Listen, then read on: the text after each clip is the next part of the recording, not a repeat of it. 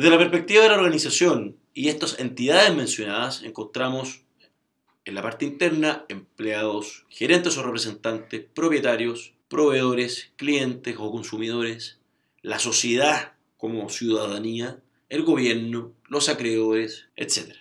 Entonces, quisiéramos ahora hacer algunas relaciones prácticas en cómo la organización, en el contexto de los contratos que buscan un fin de rendimiento, estas relaciones se entrecruzan y generan un nivel de performance o rendimiento mayor o menor en la medida que la coherencia del sistema esté bien establecida. Vamos a dar un ejemplo en una empresa de alimentos. Imaginémonos que la organización que están viendo en pantalla, que es el núcleo central de esta explicación y que está relacionado con múltiples entes internos o externos, tiene un proveedor, como en el ejemplo de, la pantalla en la parte superior, que le provee materia prima para fabricar un determinado tipo de alimento. Ese proveedor se obliga a entregar puntualmente y en calidad esta materia prima con recurrencia y pasa a ser un proveedor crítico de la organización que a su vez debe fabricar este alimento para venderlo a sus clientes. En algunos casos son empresas, en otros casos son personas naturales, etc. Pero la relación que existe es crítica con el proveedor. Dicho eso, vamos a ejemplificar que este proveedor incumple la obligación de entregar en calidad el bien que tenía que entregar. Dado que la materia prima que, que proveía la organización significaba un elemento crítico en la producción del alimento, ocurre que la relación de la organización con el cliente a su vez incumple con las calidades que él había entregado.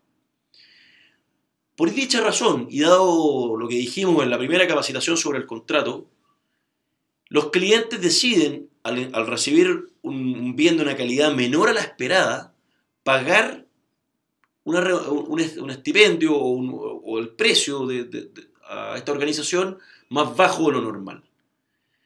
Lo que, termina, ocurriendo aquí es que la organización decide tomar una, acción contra el proveedor pero se da cuenta que en el contrato no estaba bien especificado directamente la calidad exacta en la que tenía que recibir esa materia prima. ¿Qué está pasando acá? Nos estamos dando cuenta que por el, porque el cliente de, esa organización sí se preocupó de eh, solicitar la especificación de la calidad de lo recibido, puede asegurarse de no verse perjudicado en su operación y por tanto pagar menos por el bien que había pedido. Por el otro lado, en la relación de la organización hacia el proveedor, dado que el contrato se diseñó de una forma inadecuada, la organización no podrá hacer valer el perjuicio que recibió por el proveedor en la calidad entregada.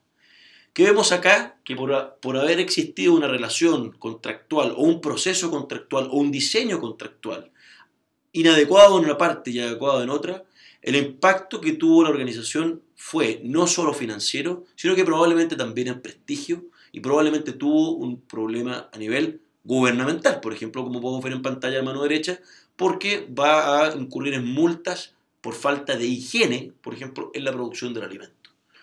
¿Qué estamos notando acá? Que el contrato no se debe mirar solo en un contexto individual. El contrato se debe mirar en un contexto organizacional y donde los stakeholders que están viendo en pantalla forman parte de las múltiples relaciones. Si seguimos con el mismo ejemplo, puede ocurrir que el, equipo de abogados o el equipo de higiene o el equipo de eh, ciencia de esta empresa de alimentos que se encargó de definir cuál era el alimento que debía integrar, eh, o la materia prima que debiera la organización comprar, si ellos no definieron bien los alcances de lo que necesitaban, probablemente iban a influir, lógicamente, en la relación con ese proveedor y que finalmente terminó impactando, a la relación con el cliente. Entonces, ¿qué conclusiones queremos sacar de la presente lámina? Que está todo relacionado. La, contratación en una parte va a afectar a la contratación hacia la otra parte.